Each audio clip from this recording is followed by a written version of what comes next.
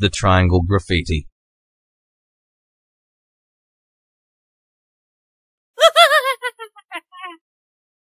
Dudes, that's not funny.